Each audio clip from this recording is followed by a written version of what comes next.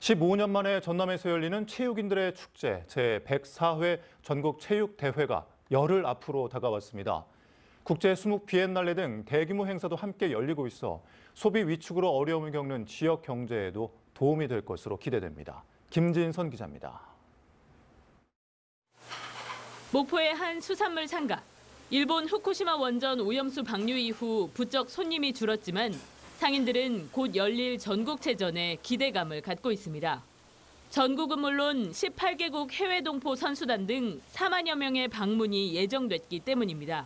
목포라 하면은 또 좀 유명하잖아요. 그래서 어, 그런 것처럼 그 회타운가 많이 회가 나 많이 나오니까 궁금해서라도 올 것 같은데 그 기대를 많이 걸고 있어요.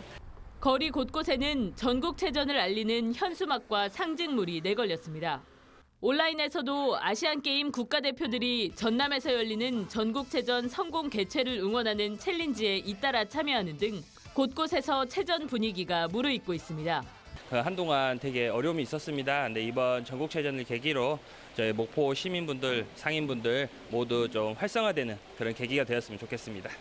모든 경기장의 승인은 물론 손님 맞이 준비를 마친 전라남도는 종합 성적 3위를 목표로 경기력 향상에도 힘을 쏟고 있습니다. 전남 체육의 경쟁력이 강화되면서 그 스포츠 산업이 확대될 것으로 추정을 합니다.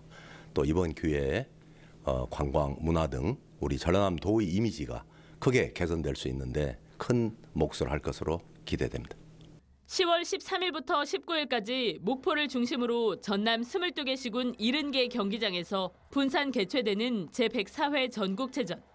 생명의 땅 전남, 함께 날자 대한민국을 슬로건으로 내건 전국 체육인들의 축제가 이제 열흘 앞으로 다가왔습니다. MBC 뉴스 김진선입니다.